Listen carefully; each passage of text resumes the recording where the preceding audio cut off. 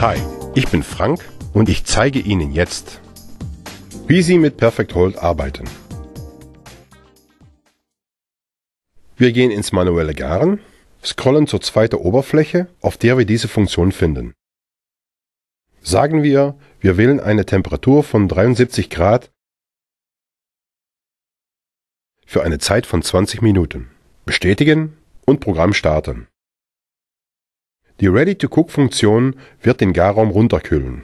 Sobald die richtige Temperatur erreicht ist, ertönt ein Signal. Nun Produkte einschieben,